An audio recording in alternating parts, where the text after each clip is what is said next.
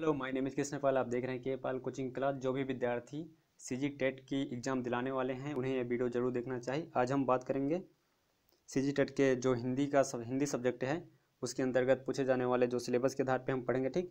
अक्षर देखेंगे, स्वर देखेंगे, व्यंजन देखेंगे, अनुस्वर और अनुनासिक ध्वनि, लिंग, वचन। बस आज के वीडियो में बस इतना ही हम लोग कवर करेंगे तो चलो आगे बढ़ते हैं, ठीक? अक्षर क्या होता है? तो अक्षर जानते हैं, ध्वनि की संगठित इकाई को हम अक्षर कहते हैं। यानी कि जो हम कुछ भी शब्द बोलते हैं, उनके सबसे इकाई बोल सकते हैं। यूनिट होता है अक्षर। अक्षर से बनके ही शब्द बनता है, शब्द से वाक्य, ठीक? तो अक्षर में तो किसी को कोई तकलीफ़ नहीं होगा। अब आगे देखते हैं वर्णमाला। हिंदी शब्द के वर्णमाला में कुल बावन अक्षर होते हैं, ठीक? तो यह दो प्रकार के होते हैं, स्वर और व्यंजन। स्वर के अंतर्गत हास्य और दीर्घ आते हैं। हास्य मतलब छोटा होता है, जो आ, ई छोटा है, आ, ई, उ, ऋषि।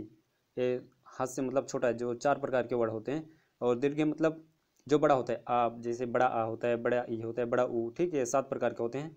आप यहाँ पर देख सकते हैं और व्यंजन की बात करें तो व्यंजन में कुल पाँच प्रकार के हो जाते हैं, जैसे स्पर्श व्यंजन, अंत, अंतस, अंतस्थ व्यंजन उसमें व्यंजन, आगत व्यंजन, संयुक्त व्यंजन। जैसे कि यह स्पर्श व्यंजन है तो बस इसमें थोड़ा थोड़ा थोड़ा सा ही वो स्पर्श होता है, जैसे देख लो, का, खा, गा गा, चा छा जा इसका उच्चारण करके आप लोग देख सकते हैं एक क्या है? का वर्ग है ये चा वर्ग है टा वर्ग है ता वर्ग है पा वर्ग है ठीक? आप इससे पढ़े भी होंगे। अंतस्थ स्वर के अंतर्गत कौन कौन से होते आते हैं? चार प्रकार के वर्ड आते हैं या रा ला वा और उसमें के अंतर्गत क्या होता है? उष्मा निकलता है। मुँह से उसमें निकलता है जैसे सा सा हा ये इस, इसके अंतर्गत भी चार प्रकार के वर्ड आते हैं आगत। इसके अंतर्गत दो प्रकार के वर्ड आते हैं जैसे जाफा है ठीक? संयुक्त है जैसे छरा त्रा ज्ञा सरा। ठीक, आगे बढ़ते हैं हम लोग। अब देख लेते हैं इसी के अंतर्गत आता है और सिलेबस में है, अनुस्वर और अनुनासिक। तो अनुस्वर क्या होते हैं? मुख्य रूप से क्या होता है? चंद्र बिंदु होता है और अनुनासिक क्या होता है? सॉरी सॉरी, अनुस्वर एक बिंदी होता है और अनुनासिक क्या होता है? चंद्र बिंदु होता है, ठीक? तो अनुस्वर अनुस्वर क्या होता है? व्यंजन का मात्रा रूप है। इसमें बोलते समय जो वायु है, यानी हवा है, वो नाक से बाहर निकलता है। जैसे कि हंस, घंटी, चंपा, शंख, आप इसे उच्चारण करके आप भी एहसास कर सकते हैं, ठीक? और अनुनासिक क्या होते हैं? मुख और नासिक दोनों से इससे हवा निकलता है। जैसे आँख हंसमुख संभाल, संवार, ठीक? आगे बढ़ते हैं हम। लिंग, अब देख लेते हैं लिंग। अब लिंग की बात करते हैं, ठीक? तो लिंग को देख लेते हैं। तो लिंग क्या होती है? जिन संज्ञा के शब्दों से हमें जाति का बोध कराता है उसे लिंग कहते हैं ठीक? तो लिंग का बोध देख लेते हैं। लिंग के हिंदी में मुख्य रूप से पुलिंग और स्त्रीलिंग होता है। संस्कृत में तीन प्रकार के होते हैं उसमें नापुंसकलिंग होता है ठीक? तो आ, हम हिंदी में इसको नहीं पढ़ेंगे सिर्फ़ दो ही पढ़ेंगे। पुलिंग और स्त्रीलिंग पुलिंग मतलब जो हमें जिससे हमें पुरुष जाति का पता चलता है और स्त्रीलिंग मतलब होता है जिससे हमें स्त्री जाति का पता चलता है ठीक? जैसे पुलिंग के अंतर्गत आते हैं, जैसे पिता, राजा, घोड़ा, कुत्ता, बंदर, हंस, बकरी, लड़का, ठीक? और इसके अपवाद कुछ हैं जैसे पक्षी, फरवरी, एवरेस्ट मोत मोतिया, दिल्ली। आप लोग को बता देता हूँ, स्त्रीलिंग और पुलिंग का जो रूल है, वो फिट नहीं बैठता है। क्योंकि कुछ ऐसे शब्द हैं, जो लगता है स्त्रीलिंग है, पर वो पुलिंग होते हैं। और चलो, आगे आगे इसको उदाहरण से दिखाता हूँ। जैसे पक्षी जो है ना स्त्रीलिंग जैसे लगता है पर एक पुलिंग है और कुछ जैसे शब्द होता है जैसे शरीर का अंग। शरीर के अंग में स्त्रीलिंग और पुलिंग दोनों प्रकार के पाए जाते हैं। तो हम लोग इसे डिफाइन करने में थोड़ा मुश्किल होता है कि कौन स्त्रीलिंग है, कौन पुलिंग है। ये सिर्फ़ प्रैक्टिस से ही हमें पता चलता है। तो चलो थोड़ा थोड़ा प्रैक्टिस कर लेते हैं एग्ज़ाम ताकि हमारा अच्छे से जाए। जिन शब्दों के पीछे आ, त्वा, आ, आओ, पा, पन, ना आदि प्रत्यय आए, ये पुलिंग होते हैं। जैसे मन, तन, वन, शेर, राम, ठीक? आप इसे देख सकते हैं पोज करके।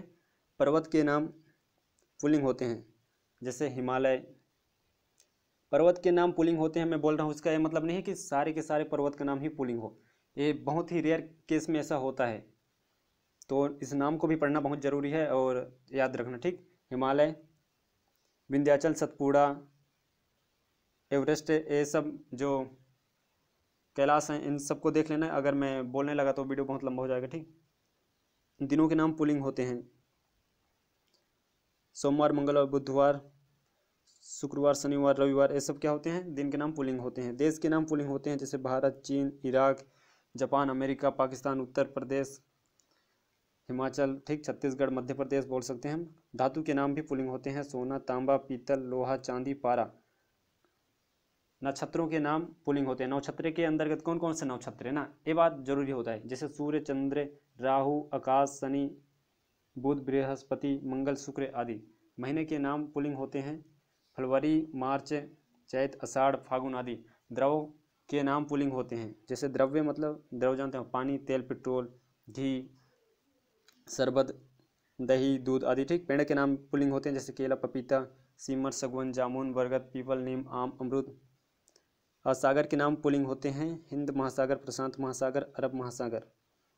आगे देखते हैं ग्यारह। समय के नाम पुलिंग होते हैं, जैसे घंटा, पल, क्षण, मिनट, सेकेंड। अनाजों के नाम पुलिंग होते हैं, गेहूँ, बाजरा, चना जव आदि। वर्णमाला के अक्षरों के नाम पुलिंग होते हैं, का, उ, छा, चा, छा, एस, जितने भी वर्ड हैं सब, ठीक? प्राणीवाचक शब्द हमेशा पुरुष जाति के होते हैं या बहुत ज़्यादा इंपॉर्टेंट है। कुछ ऐसे शब्द होते हैं जो हमेशा पुरुष जाति के होते हैं, यानी कि पुलिंग होते हैं, जैसे बालक, गीदड़, कांवा, कवि साधु, खटमल, भेड़िया, खरगोश, चीता, मच्छर, पक्षी।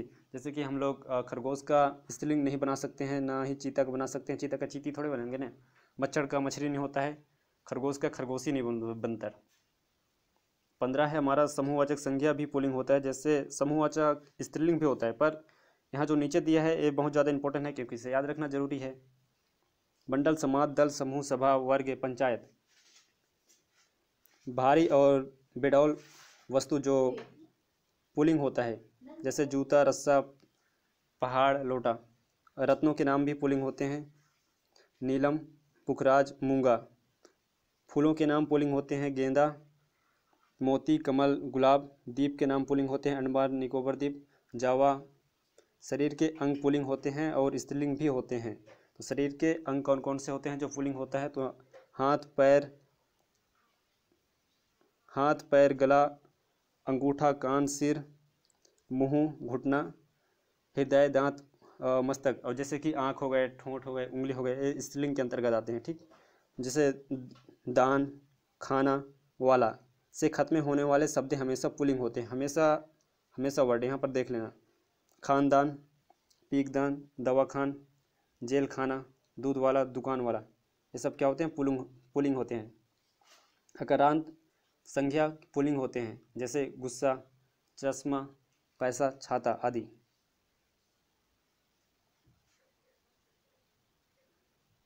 इसी में आगे देखते हैं स्त्रीलिंग क्या होता है।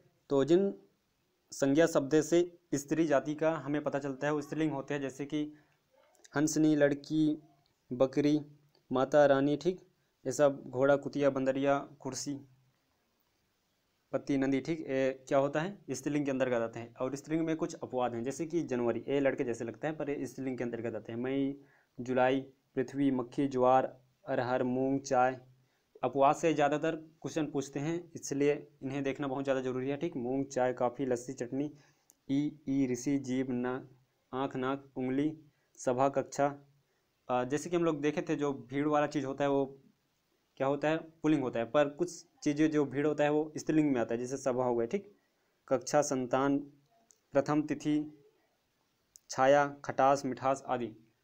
स्त्रीलिंग प्रत्यय देख लेते हैं। जब पुलिंग शब्द को स्त्रीलिंग बनाया जाता है, तब प्रत्यय के शब्द को जोड़ा जाता है, जिन्हें स्त्रीलिंग प्रत्यय कहते हैं। स्त्रीलिंग प्रत्यय, जैसे कि हम बड़े वाला ई जोड़ देते हैं, जैसे बड़ा में तो बड़ा ही होता है, भला में भलाई हो जाता है। यानी कि बड़ी और भली, ये क्या होता है? स्त्रीलिंग होता है। इनी जोड़ देते हैं तो स्त्रीलिंग बन जाता है। जैसे योगी में जोड़ दिया इनी होगनी हो गया। जब धोबी में इन जोड़ दिया, क्या हुआ? धो धोबिन हो गया, ठीक? इसी प्रकार हम देखते हैं जब हम नी जोड़ देते हैं किसमें? पुलिंग में। पुलिंग में नीच जोड़ देते हैं, जैसे मोर है तो मोरनी हो जाता है। फिर क्या बनता, बन जाता है? स्त्रीलिंग बन जाता है। आनी जोड़ देंगे किसमें? पुलिंग में। जेठ है तो जेठानी हो गया। देवर में देवरानी हो गया। आइन जोड़ देंगे, तब भी स्त्रीलिंग बन जाएगा। जैसे ठाकुर में आइन जोड़ा क्या बन गया? ठाकुराइन पंडित में जोड़े पंडिताइन बन गया। या जोड़ देने से पुलिंग स्त्रीलिंग बन जाता है। बेटा में या जोड़ने पर बेटिया, लोटा में लुटिया। ठीक? स्त्रीलिंग की पहचान देख लेते हैं।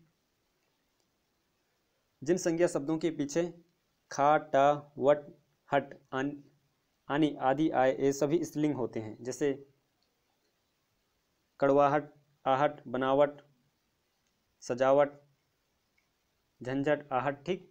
आगे देख लेते हैं। अनु, स्वरांत, इकरांत उकरांत तकरांत, सकरांत आदि संग, संज्ञाएँ आती है स्त्रीलिंग होते हैं। जैसे रोटी, टोपी, नदी चिट्टी उदासी, रात, बात, ठीक। आगे देख लेते हैं। भाषा बोलने तथा लिपि के नाम स्त्रीलिंग होते हैं, जो भाषा हम लोग बोलते हैं। हिंदी, संस्कृत, देवनागरी, पहाड़ी पंजाबी, फारसी, अरबी, जर्मनी, बंगाली, रूस आदि सब क्या होते हैं? स्त्रीलिंग के अंतर्गत आते हैं। नदियों के नाम स्त्रीलिंग होते हैं। गंगा, यमुना, गोदावरी, सरस्वती, रवि इनके पुलिंग नहीं होते हैं। इस बात को ध्यान देना, ठीक? इनके पुलिंग नहीं होते हैं, न इनके पुलिंग होते हैं। सिर्फ़ स्त्रीलिंग के अंतर्गत ही आते हैं। तारीख और तिथि के नाम स्त्रीलिंग होते हैं। जैसे पहले, दूसरी, प्रति, प्रतिपादन, पूर्णिमा, पृथ्वी, अमावास, एकादशी, चतुर्थ, प्रथम आदि। नव नक्षत्रों के नाम स्त्रीलिंग आते हैं अश्विनी भरणीय रोहड़ीय, रेवती, मृगसी, चित्र, ठीक?